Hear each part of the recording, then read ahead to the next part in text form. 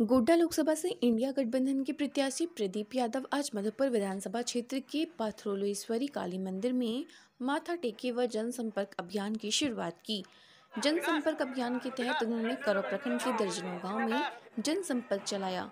मौके पर प्रदीप यादव ने कहा कि गोड्डा लोकसभा क्षेत्र की जनता अहंकारी सांसद को सबक सिखाएगी और इंडिया गठबंधन रिकॉर्ड मतों से गोड्डा सीट फतह करेगी। ही परिणाम आने वाले हैं। तीन बार से जिन्होंने चुनाव को जीता, आज गाँव गाँव उसकी हुटिंग हो रही है। लोग उन्हें गाँवों से भगा रहे हैं। कह रहे हैं, पंद्रह वर्षों में आपने कभी गाँव देखा नहीं, लोगों की सुधी ली नहीं, कभी सुख दुख के साथी आप बने नहीं। पंद्रह साल बाद वोट क्यों मांगने आते हैं?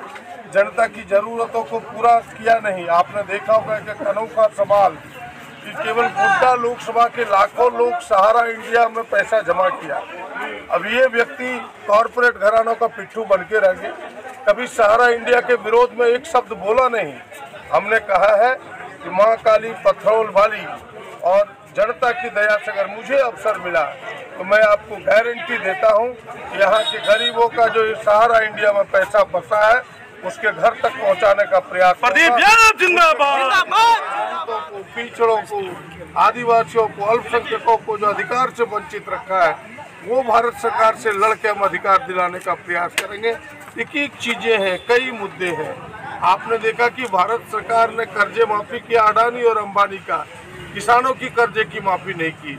हमारे राहुल जी ने कहा है कि इस बार यदि हमें अवसर मिला तो हम अडानी अंबानी जैसे लोगों की कर्जे की माफ़ी नहीं, हम गरीब किसान पूरे देश की कर्जे की माफ़ी करेंगे। ये तमाम सवाल है।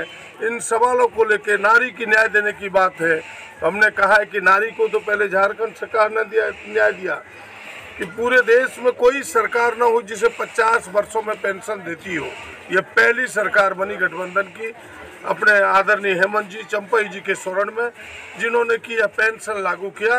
और राहुल जी ने कहा है कि अगर मेरी सरकार दिल्ली में बनी एक एक नारी के खाते में एक एक लाख रुपया प्रति वर्ष, यानी साढ़े आठ हज़ार रुपया महीने मिलेंगे, ताकि नारी का सम्मान और सबसे बेहतरीन जो युवाओं के लिए है, कि जो युवा रोज़गार के लिए सड़कों पर भटक रहे हैं, बेरोजगार बन के हमारी पार्टी, हमारे गठबंधन ने कहा है कि हमें मौका मिला तो ये तीस लाख जो बचे हुए भर्ती के पद हैं, ये खाली पड़े पद हैं।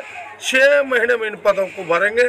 इस, इन सारे मुद्दों को लेकर के हम सब आगे बढ़ रहे हैं और सबसे बड़ा यह मुद्दा है कि पंद्रह वर्षों से लोगों ने सांसद को देखा नहीं। लगा सांसद रहते, सांसद विहीन है। अगर मेरे को मौका मिला तो मैं आपको विश्वास दिलाता हूँ कि आम जनों के, गरीब गुरुओं के, तमाम लोगों का सुख दुख का साथी बनने का प्रयास करूँगा।